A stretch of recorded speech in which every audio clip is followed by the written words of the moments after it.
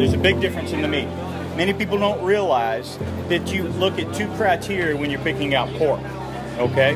And we're blessed today to have as many choices as we have with all the heritage breeds and with all the specialized, you know, uh, raising of pork, whether it's all natural uh, or whether it's finished out with different feeds and things like that.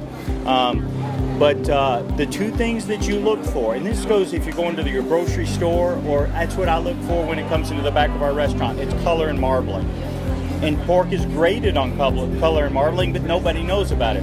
What you're looking for is a reddish pink color as opposed to a pinkish red color. So the reddish pink color will guarantee you a higher moisture retention during the cooking process.